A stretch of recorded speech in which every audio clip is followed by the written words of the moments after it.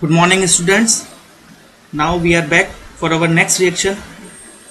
Methods of preparation of alkyl and aryl halides.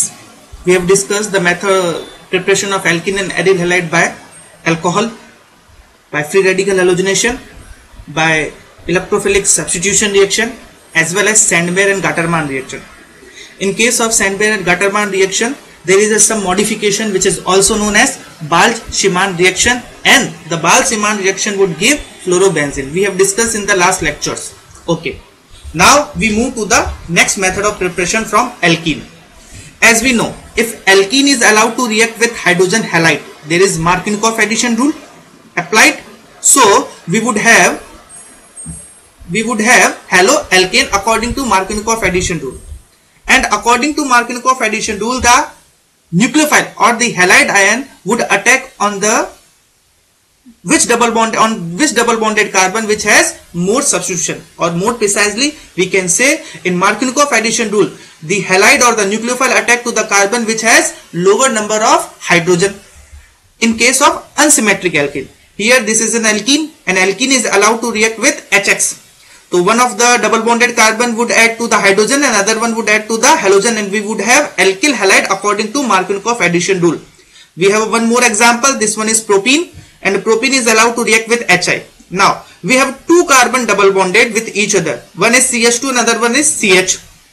The CH2 has two hydrogen while the CH has only one hydrogen. So according to Markovnikov addition rule the nucleophile or the halogen would attack to the carbon which is which have less number of hydrogen atom so iodine would attack to the go to the ch and hydrogen would go to the ch2 so we have a product ch3 chi ch3 as our major product which is the Markovnikov product and if the anti-Markovnikov addition would take place then the iodine would go to the carbon with more number of hydrogen atom so we have one iodopropane which is the minor product or we can also say it is a anti-Markovnikov product so in case of addition of hydrogen halide on the alkene the Markovnikov addition rule followed. But in case of uh, and the, in case of HBr in presence of peroxide the anti-Markovnikov addition will dominate over the Markovnikov addition.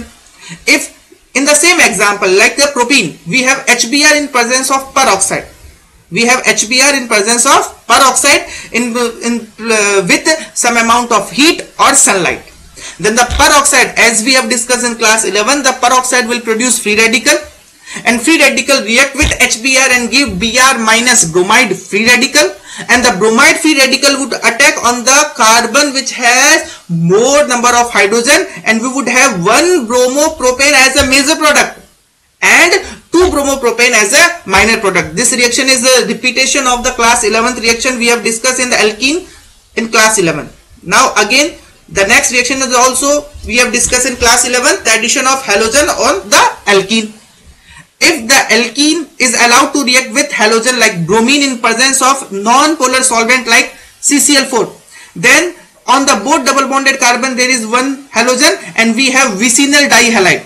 Since we know bromine in CCl4 has reddish brown color as bromine react with double bond there will be less amount of bromine in CCl4 so the reddish brown color of the system fades or com disappear completely. So it is also the reaction is also used as test for unsaturation and it would always give vicinal dihalide. Now there is some modification. If we have cycloalkene and the cycloalkene is allowed to react with bromine or some kind of halogen in presence of carbon tetrachloride solution as we know it is an anti-addition. And cycloalkene would give the vicinal dihalocycloalkane and cycloalkane has planar structure. So in each plane there is above the plane position and the below the plane position. So if the bromine or the addition of halogen take place by anti-addition manner then one bromine the bromine on the one carbon is upward so the bromine of the other carbon would be downward. And we have a transvicinal dihalide you can see the notes of class 11 who here uh, where we had we have discussed in very elaborate manner. Now this is the main reactions. Now if we have the we go to the this example. Write the product of the following reaction. This one is react with HBr so here the Markovnikov addition would take place. So the Br would attack on the carbon which has a less number of hydrogen. So Br would attack on this carbon. The number 2 and the hydrogen would attack on the this carbon and we have this product okay similarly we have a but1ene and is allowed to react with HCl now again Markovnikov addition rate Markovnikov addition would take place and the chlorine would go to this CH and the hydrogen would go to the this CH2 and we have 2-chlorobutane again we have this hydrocarbon and the hydrocarbon is allowed to react with HBr in presence of peroxide. Now the anti-Markovnikov addition would be dominant one. So the Br would attack on the carbon which is which has more number of hydrogen that means this CH2 and the hydrogen would attack to the carbon which has a less number of hydrogen that means this CH and we have this one this product. So in all of these cases the reaction first and second follow the Markovnikov addition rule while the reaction third follow the anti-Markovnikov addition rule as to form dominant product. Since we have discussed so many of reaction on all of the reaction deals with the preparation of chloro compound or the bromo compound. There are very few reaction which are actually dealing with the preparation of benz, ido, ido compound or the fluoro compound. So there are two reaction. One is Finkelstein reaction which is for the preparation of alkyl iodide and one the other one is Swarts reaction which is for the preparation of alkyl fluoride and they are known as halogen exchange reaction. That means we have either chloro compound or bromo compound and this chloro or bromo compound is allowed to react with NaI sodium iodide in presence of acetone. So the halogen would get exchanged by the iodine and the alkyl halide that means chloroalkane or the bromoalkane would give alkyl iodide and we would have we would have NaX the X would be chlorine or bromine. The X would be chlorine or bromine. So finally we have sodium chloride and sodium bromide. Important thing is that the reaction is take place in presence of dry acetone. The reaction is take place in presence of dry acetone. Why? Because in presence of dry acetone, the formation of uh, the, the, the byproduct, the NaCl or NaBr would precipitate out and this will, this will uh, allow the reaction to proceed more forward direction according to Le-Chatelier's principle. The another one reaction which is actually the preparation of the alkyl fluoride is Swarts reaction. If any alkyl chloride or bromide is allowed to react with metallic fluoride such as silver fluoride, mercurous fluoride, cobalt fluoride, antimony fluoride is allowed to react with metallic fluoride then the halogen exchange would, took, would take place and the fluorine will substitute this chlorine or bromine and we, we would have alkyl fluoride as our main product and alkyl bromide or uh, so, and the metallic bromide or metallic iodide as a byproduct. Now now we move to the some questions the question number 10.2 10.3 and 10.4 would be your homework you have to try to you have to try these questions and find out the correct answer. We will discuss the question number 10.5. Now, this one is cyclohexanol and the cyclohexanol is reacting with thionyl chloride.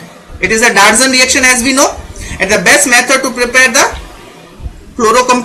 So this OH would get substituted by chlorine and we would have cyclo uh, uh, we would have chlorocyclohexane. Again the question number second. This one. The benzene ring has one ethyl group and one nitro group. The IUPAC name is 1-ethyl 4-nitrobenzene is allowed to react with bromine in presence of heat or sunlight. As we know the condition is free radical halogenation reaction and free radical halogenation reaction the reactivity order is benzylic is equal to allylic is more than 3 degree is more than 2 degree is more than 1 degree is more than methane is more than vinyl or aryl position. Since this CH2 carbon is a benzylic position and the free radical halogenation would take place or benzylic position is more preferentially than the other position. So the bromine would substitute the hydrogen of this CH2 and give the main product. The question number third, we would have. Here is two OH group. One is present on the aromatic carbon, this, this OH and one is present on the aliphatic carbon, this OH. And this allowed to react with HCl and we have uh, and we have subjected to it. So any one of the OH would get replaced by the chlorine now the question is which one? So first we discuss this OH. As we know the OH is a plus M group. So the lone pair of oxygen will undergo the resonance and during this resonance this bond this bond has a partial double bond character as we know the double bond is much much stronger than the single bond so the replacement of this OH is not as much as as much easy as the replacement of this OH so this OH will replace by the halogen and we would have our final product Now, this one is the cycloalkene with a substitution CH3 and allowed to react with HA. Again, it is a Markovnikov addition rule. So, the nucleophile or the halide would attack on the carbon which is which has less number of hydrogen. This would take place on this carbon and hydrogen would add, add to the this carbon. So, we have a product is 1 ido 1 1 ido 1 methyl cyclohexane. This one is Finkelstein reaction, it is the halogen exchange reaction.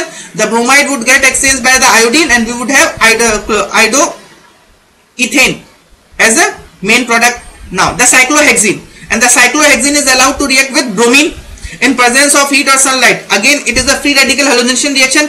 And as we know there are the this one. This carbon and this carbon are the allylic carbon.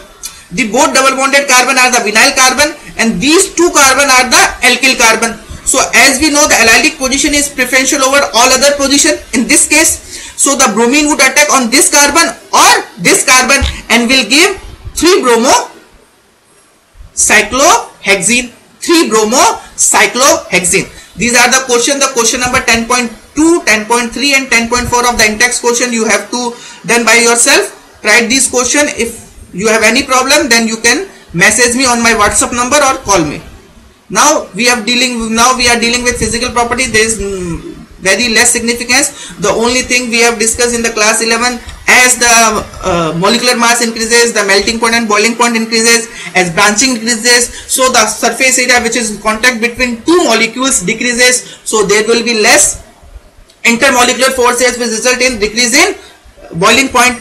In case of uh, aromatic alkene dihalo uh, di in case of aromatic uh, aromatic dihalo compound the para isomer is more symmetric so it would have more melting point than the ortho isomer and the ortho isomer would have the more mel mel melting point now we are we are going to this uh, data. This is the 1 bromo butane 2 bromo butane and this one is the 2 bromo 2 methyl propane as we know this one is the, there is no side chain there is one side chain and there is two side chain. So as the side chain increases the branching increases the inter the, the surface area which is contact between two molecules decreases which result into less intermolecular forces and the less intermolecular forces will uh, ultimately result into the lowering of boiling point. That's why the compound which which has no branch has melting point 375 kelvin. The compound which has one branch has melting point uh, has boiling point 364 Kelvin and compound with two branches compound with two branches has melting point 346 Kelvin. Similarly, in case of aromatic compound, the para dichloro, the para isomer or the para dichlorobenzene has symmetric structure has high melting point 323 Kelvin, whereas the ortho isomer has the lower melting point is 256 Kelvin.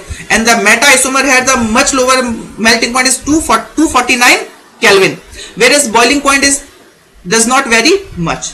Their boiling point are don't vary much. The 448 446 and 453 so in case of symmetric structure the symmetry of the system the melting point affected and if the branching decreases the boiling point get affected.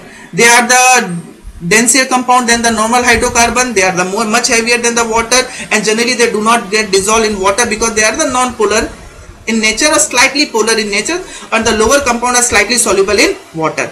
So we uh, we have gone through the entire thing. The method of the classification of alkyl and aryl halides the method of preparation and their physical property so students uh, uh, I'm giving you some homework. Please go to the NCERT question regarding these topics, the in-text question and the question we have discussed. Please go through it. If you have any query, you can WhatsApp me, you can call me. Okay. Thank you. That will be all.